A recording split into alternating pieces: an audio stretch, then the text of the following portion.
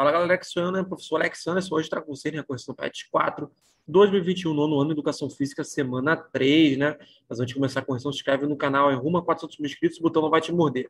Deixa o super like aí no vídeo, compartilha o vídeo com todos os seus amigos, também se inscreve no canal Jogos Alexio, link na descrição do vídeo. O professor agora está no TikTok, né? Bora seguir o professor que tem muito conteúdo lá, hein? Bora assistir lá. Arroba Alex Underline Biomedicano. Bora lá esmagar mais um PET 5 no 10, vem comigo.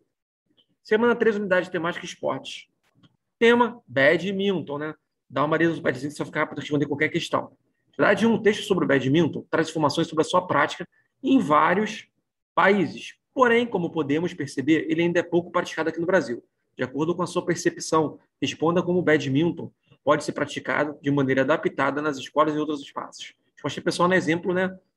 Com os equipamentos, pode ser praticado em qualquer local com espaço amplo e que tenha como pendurar uma rede ou linha em altura adequada para representá-lo. Dois, de acordo com o texto, quantos sets possui uma partida de badminton, né? Três sets de 21 pontos cada.